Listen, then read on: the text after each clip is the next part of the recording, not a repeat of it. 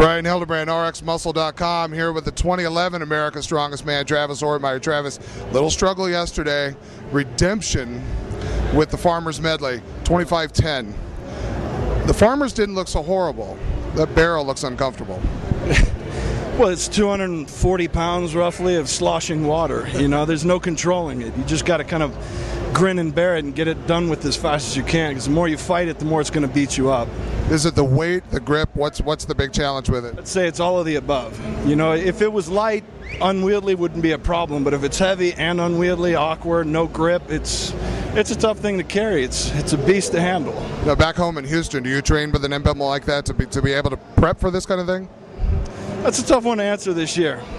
This has kind of been a uh, mental and physical break for me. It's been, well, let's be honest, I haven't trained consistently since the Arnold, maybe a dozen times. So I'm really here just kind of having fun and, you know, representing concrete, trying to have a good time, show up for my boys at Labrada and, you know, do what I can, promote the uh, sport and push the other guys to do their best. Well, I know I know the other athletes were happy to see you here. We, we haven't heard a lot from you in the past few months, and I think everybody was excited to see that you were going to be here.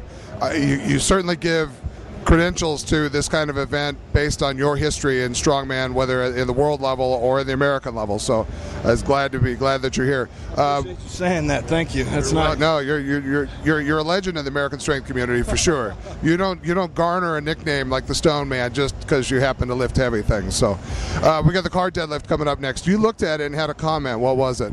Oh yeah, yeah I could do without it. You know, just, every joint in my body's hurting right now, and it just. Uh, it looks pretty heavy over there in that corner, right. sitting there kind of smirking at everybody. I noticed it's at least, and it, Mike seems to pick out silver cars. I think our car last year in Hot Springs was silver too. I was thinking the same thing. It's just kind of an evil color. Well, last year when we had the Harley. Um, uh, uh, no, no, no. Was it the sled? That's right. No, no, no, not the sled drag. Where we had the we had the the, the circle, the Conan's wheel. Conan's wheel, yeah. We had a couple hot chicks on it. Yeah. I don't see any hot chicks in the car. You know, it always makes an event a little easier with a bunch of hot women on it. You think they would use that more often. It's great for the crowd, it's great for the athlete. I'm going to lift it a hell of a lot more times just so I can drop it that many more times. Well, I'm thinking maybe I'll run over to the sumo event, see if I can get a couple of the guys to jump in for you.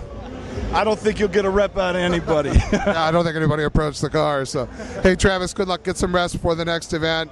Um, this is a it's a trying event coming up for sure. Some guys are going to just suck at it, and other guys can knock a few out. So good luck to you. Great to see you, Trav, and uh, and I'm sure we're going to see more of you. Glad to see you back. For Travis Ortmayer, Brian Hildebrand, RxMuscle.com.